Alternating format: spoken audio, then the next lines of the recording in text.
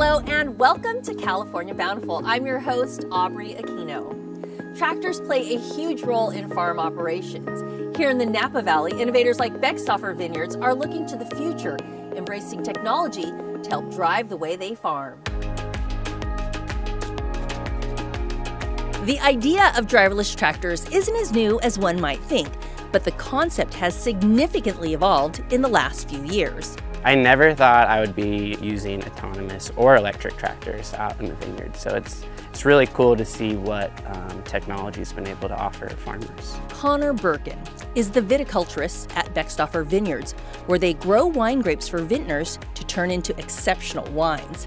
For 30 years, Beckstoffer's been cultivating wine grapes on hundreds of acres in Napa Valley. And now they're employing a fleet of the world's first fully electric, driver optional tractors to keep growing. We use the tractors for pulling out vines, doing row management uh, as far as weed control and um, harvesting. We have 10 Monarch tractors that are all electric and so uh, we made the decision because we are a no-till operation now, and with that, it requires more tractor passes to manage our weeds. And we thought, you know, we don't want to increase our diesel usage, so it, it seemed right to get Monarch tractors. We've saved about $12,000 in diesel um, just in the 2023.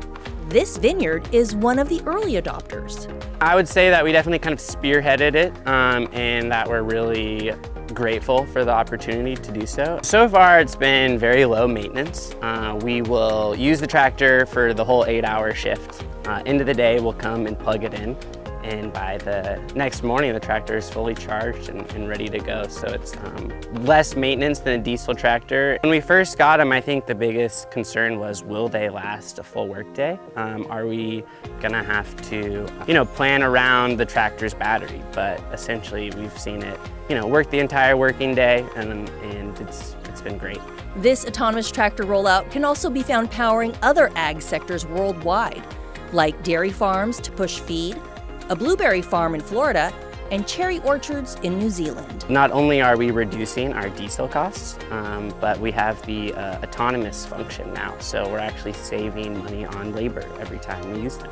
No one's losing their jobs. It's, um, it's basically just letting us be more efficient with our time uh, because there's always going to be lots of work that needs to get done. You know, freeing up some of that time to do some of the extra work that we need to do is awesome.